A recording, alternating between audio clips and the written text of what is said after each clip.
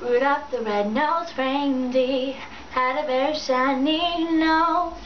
And if you ever saw it, you would even say it glows.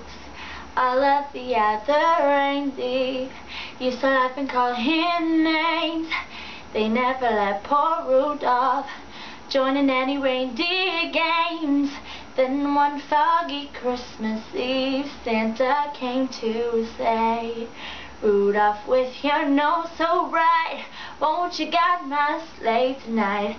Then all the reindeer loved him, and they shouted out with glee, Rudolph the red-nosed reindeer, you'll go out in history. Rudolph the red-nosed reindeer, you'll go out in history. Merry Christmas, everybody.